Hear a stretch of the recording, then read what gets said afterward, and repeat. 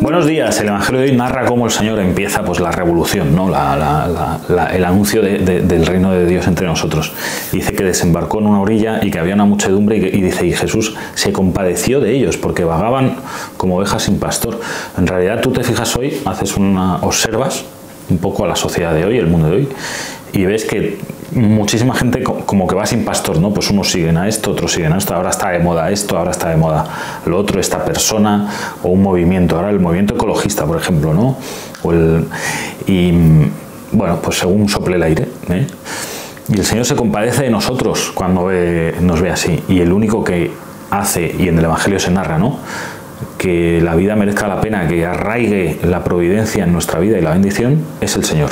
Y entonces se da la multiplicación de los panes y los peces, que los apóstoles dicen, Señor, mándales a casa, que aquí no hay comida para tantos. No, decirles que se sienten, ya me ocupo yo de ellos. Esto es verdad.